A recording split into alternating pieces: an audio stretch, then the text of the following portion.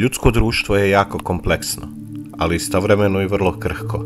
Zasnovano je na raznim osnovama. Jedan od tih osnovana, osnova je medonosna pčela.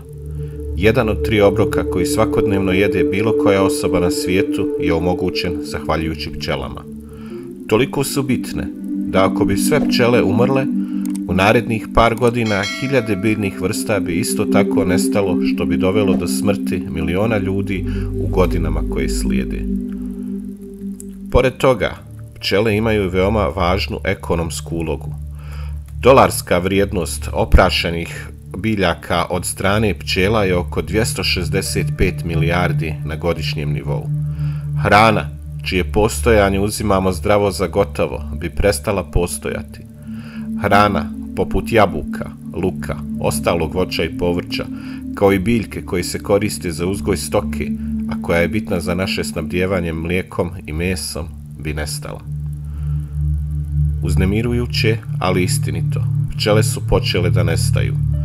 Milioni pčelinjih društava su umrle u zadnjih par godina. Pčelari širom svijeta su svjedoci godišnjih gubitaka od 30 do 90% njihovih pčelinjih društava. U Sjedinjenim američkim državama broj pčelinjih zajednica konstantno opada.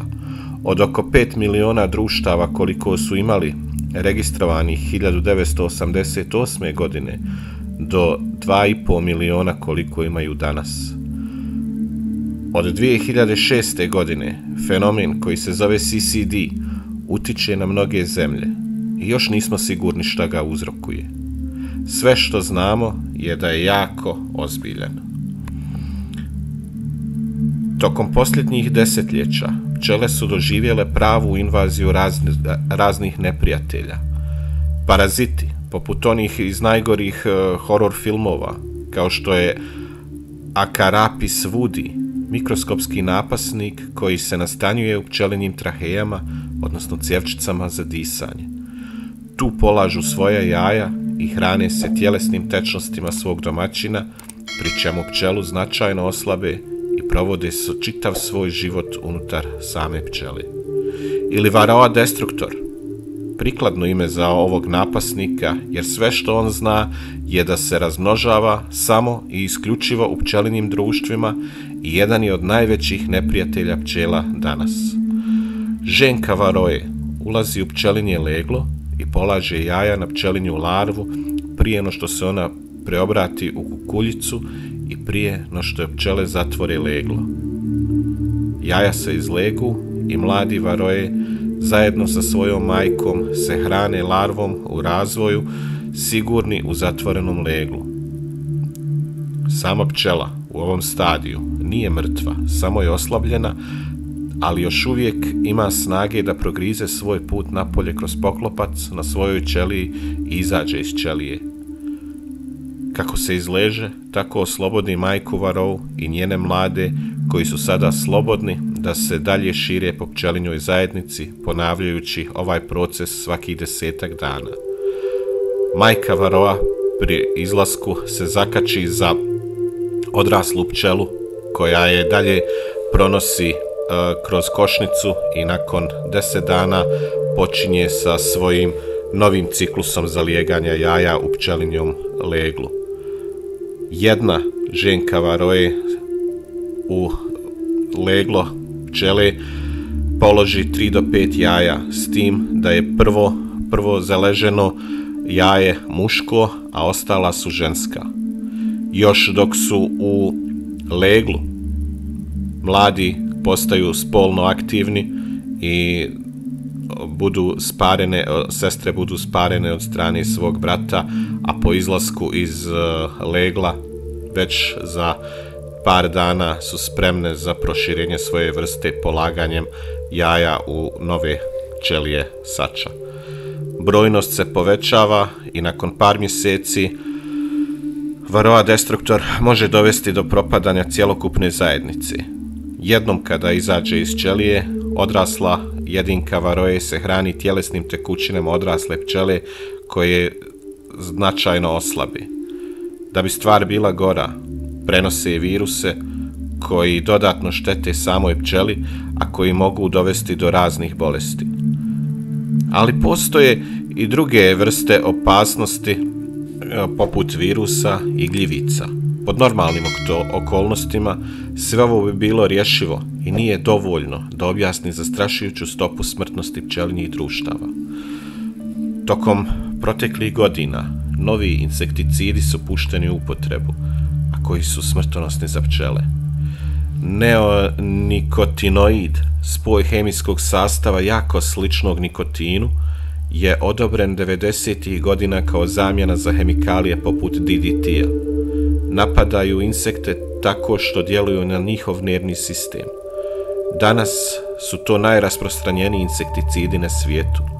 Na svjetskom nivou njihova prodaja se kreće od oko 1,5 milijardu dolara, odnosno 24% svjetskog tržišta insekticida.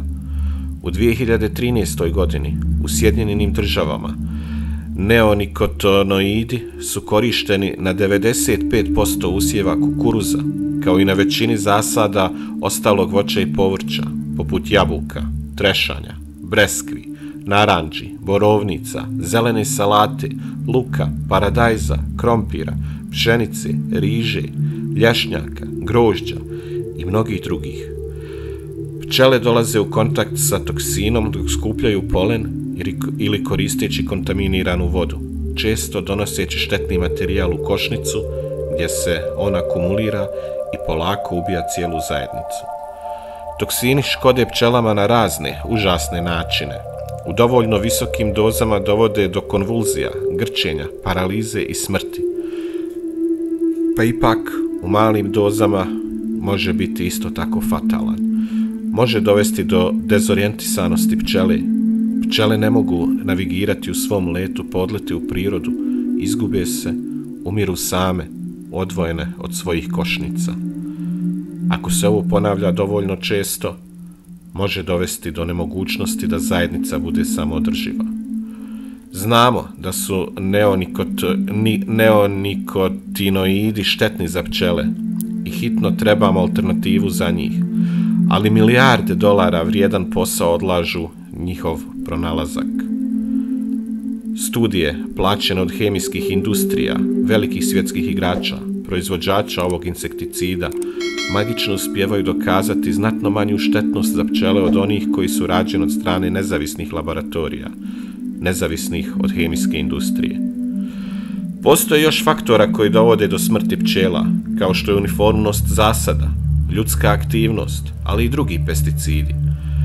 Svaki od navedenih faktora je poseban problem sa kojim se pčele suočavaju, ali djelujući zajedno, vjerovatno uzrokuju CCD zajedno sa parazitima koji se dodatno šire i jačaju proteklih, god, proteklih godina, medonosna pčela je dovedena u situaciju borbe za opstanak.